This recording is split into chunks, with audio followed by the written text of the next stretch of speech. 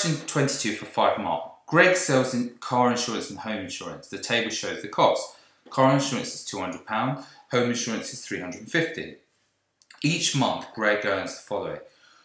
£530 basic pay, 5% of all 5% of the cost of all the car insurance he sells, and 10% of the cost of all the home insurance he sells.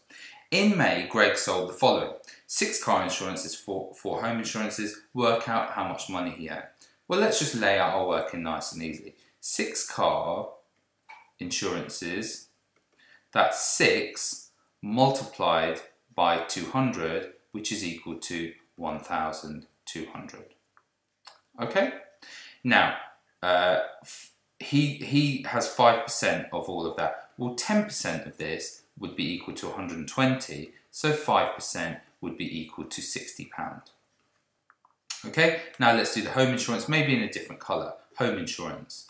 So for home insurance, so that's 4 multiplied by 350. Well, 4 times 300 is 1,200, and 4 times 50 is 200. So that's going to be 1,400. And he earns 10% on these. So 10% of that would be equal to £140.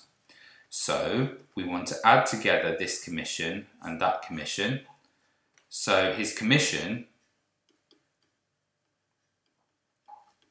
is going to be 60 plus 140, which is equal to 200.